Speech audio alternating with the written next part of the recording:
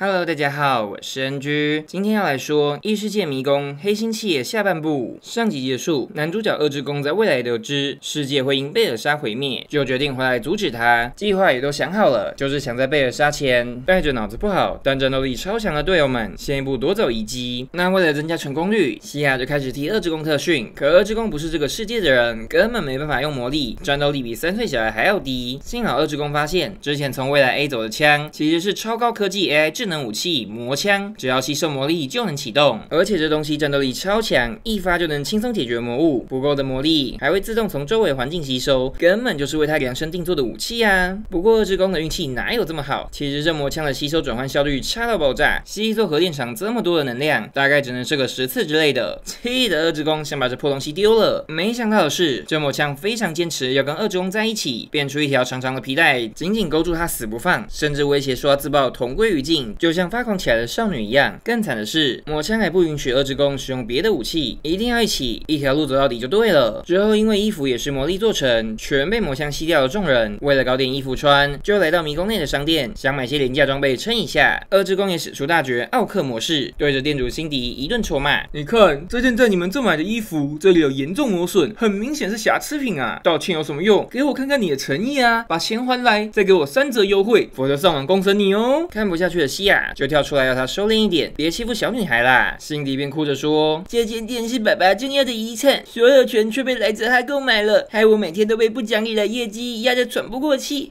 总有一天，我一定要赚大钱把店买回来的。”如此有骨气的话，让二职工刮目相看，决定帮助他翻身。那目前能用的商品是一个最近刚升天的亡灵法师做出来的，数量超级多，但品质很差的回复药水。二之宫立刻就想到一套邪恶计划，首先是找那些陷入危机的冒险者，抓准时机跳出去帮忙，说些帅帅的台词，再把做成饮料的药水拿出来喝。只要喝下这饮料，死亡如牛，就能精神百倍，大战个三天三夜。等对方疑惑时，就派出另一人去解说饮料的功能，什么各种对身体好的成分，专门为冒险者调配的新概念产品。然后找一堆美女到处宣传，再来个免费大放送，让冒险者们全对这东西充满兴趣。于是，在恶之宫的操作下，这品质超差的乐色竟然卖爆了，钞票大把大把的赚。毕竟卖商品最重要的就是形象，只要煽动买家的虚荣心，再加上喝一口便离不开的轻微成瘾性，就是最完美的商品。什么成瘾性只是比咖啡因强一点点的东西啦，没问题的。况且大家都很开心，不是吗？双方都满意就行了嘛。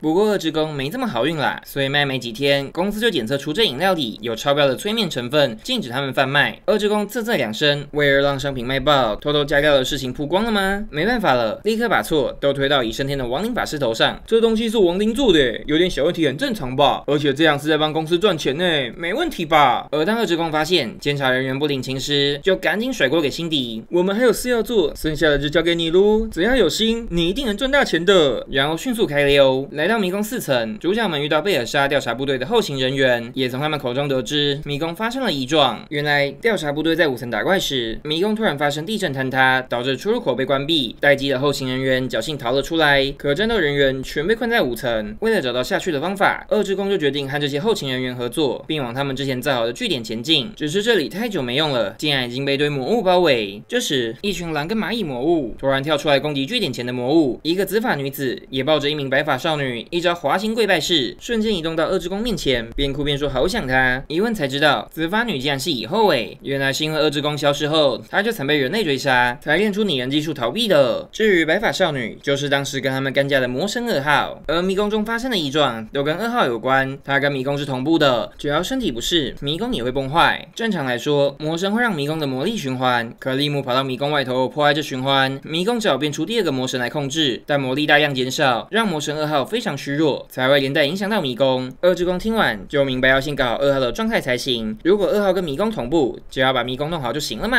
于是二之宫率领众人开始恢复迷宫内的生态平衡，像是给水系魔物水，让他们恢复力量，能对抗入侵领地的魔物；给土魔兽树木种子吃，阻止森林过度扩张；消灭占领湖泊、不断散发毒素的巨大蜘蛛等等。同时，利姆则在家弄对吃的喝的，甚至找来冰块之类的替二号降温，不眠不休照顾他。经过众人努力，二号终于恢复状态，利姆并帮他取了个名字 Sola。总之，主角们就顺利往第五层前进，还非常巧的就到了陷入险境的战斗部队。然后二之宫马上卑鄙无耻的用心理学慢慢操控这些战斗部队，像是关心弱者、激励恐惧之人、提高作战士气等等，让战斗部队都心甘情愿帮他。在前面打怪。很快的，众人来到迷宫六层远古遗迹前面。二之宫告诉其他人，这东西非常危险，他愿意先去看看情况，让众人全都感动的不断欢呼。而这种话当然是骗人的嘛！二之宫从头到尾都是在利用这些蠢蛋，帮自己得到遗迹的力量啦。接下来，这个世界将在他的操作下变成最棒乐园啦！哇哈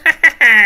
之后，之宫骑着魔物先回去找贝尔莎，把欠的钱全都还了，再送他一封离职信，跟着乐色公司彻底划清关系。然后，之宫大量收购魔力枯竭的迷宫，改造成任何人都能进去玩的游乐园。因为得到遗迹力量后，他得知迷宫的魔力消耗完了，是可以从外部补充的。只要让有魔力的人进去，迷宫就能从这些人身上吸收魔力，不断产出高品质魔石，变成一个正循环。接着，二之宫就将累积起来的大量高纯度魔石，用合理的超低价格流入市场，抢走来自哈的市占率，再找来一堆魔物外送，搞今天下单，今天就能取货，轻松抢走来自他剩下的客人，然后用赚来的钱悄悄收购来自他的股票，成为能掌控公司的大股东，再解雇贝尔莎的职位，自己来当来自他的董事长。历经千辛万苦，二之宫终于从底层爬上来，解决了最大的敌人贝尔莎，再次获得了功成名就。最后，二之宫的迷宫黑心企业收购了莱泽哈，成为世界上最大的集团。他终于永远在顶楼俯瞰下面那群低端人口，享受有钱的生活活路。那之后，其实二之宫又会被转移到另一个时空去，再次受到悲惨对待，但就等第二季再说吧。看完后，我就在想，不要脸，脸皮够厚，就是成为第一的关键。所以你可以买真奶给我喝吗？